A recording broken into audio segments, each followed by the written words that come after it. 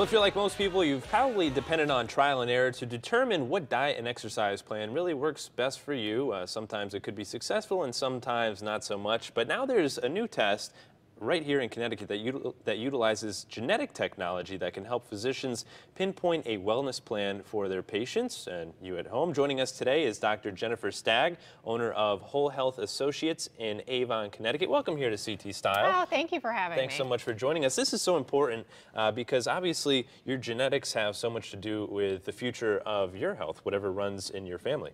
Right, absolutely. So um, this type of test is really fascinating that we started incorporating this into our practice to help us really guide and pinpoint what sort of lifestyle changes or habits are really important for that patient. And uh, speaking of patients, I have been one of yours here. We Right. did uh, one of the tests on me, and we have a little bit of video here that we can show you of the testing process. It, it took all of about 20 minutes probably. Uh, Dr. Ange stopped by the studio here, and uh, Teresa and I took the test. All we did is uh, put some saliva there in the tube, and then tell us the process from there on out.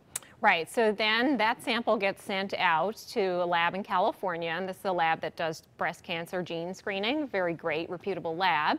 Um, and so they do a genetic test, and on 75 of the genes associated with wellness, with nutrition, exercise, and metabolic um, issues or problems, and then that report gets generated and sent back to your physician, and then we genetically counsel the patients then on, on the results of the tests and what you can do about it. And I believe you have some results of my test here. Right, yes. Okay. Yep. Let's find out here. dig into it? Yeah, let's, let's get right into it. So one of the uh, most important um, test results that we look at for our patients is uh, what is your matching type diet. Mm-hmm. So, you know, people are doing a paleo diet they're doing a Mediterranean diet. Mm-hmm. It turns out for you, a low fat diet would be the best type of diet for you matching your gene type. Okay. Um, and what that means, it's, it's talking about the ratio of the carbohydrates, protein, and fat in your diet. So for carbs, you probably want to be more about 50%, um, fat about 20, and then protein about 30%. And it's different for everybody because oftentimes we and, and we talk a lot about it here on the show. You know, cut down those carbs, increase proteins, exercise, get a lot of sleep, which are all important health things. But everybody's body is different, so that's what's that's the great thing about this test. Yeah, So that's interesting. yeah. So I should be eating more bread, carbohydrates. Well, not bread, Oh, the oh, right type of carbs, oh, oh. okay? Well, what are So- some of the correct types? So yeah, so we think about healthy whole grains, so Mm. things like quinoa, brown rice, um, vegetables, so the non-starchy vegetables, Mm-hmm. leafy greens, salad, all those great foods that you think about in terms of vegetables. Starchy vegetables are good for you. Okay. A couple of servings of fruit a day. That adds up and gets you up to 50% pretty quickly without using any sort of processed carbohydrate. Okay. What are some of the of the other? Um, so we even find things about uh, the types of fats that are good for you. Mm-hmm. So both monounsaturated and polyunsaturated fats are good for you. And so this would be the types of fats that are found in fish, nuts and seeds, olive oil, avocado. So all those really Mm-hmm. great healthy fats would be important for you to incorporate into your diet. Okay. Um, the next section is on eating behavior traits. And so there are six traits that are tested. This helps us determine your relationship with food. So for you, you have a sweet tooth. Okay, Um, yeah, so you'd that- like the is taste true, is sweets, true, yeah. yes. Mm-hmm. It's always interesting when I go over these results because people find that they're they're correct.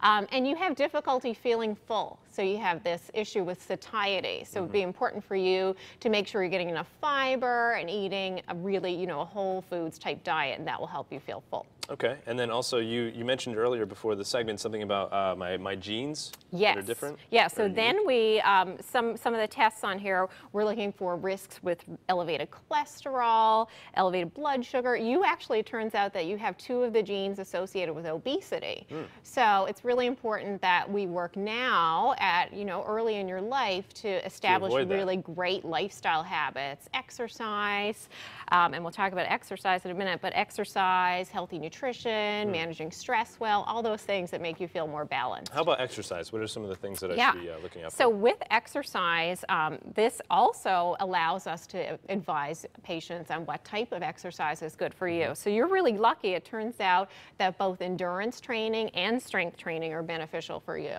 Can't okay? you tell?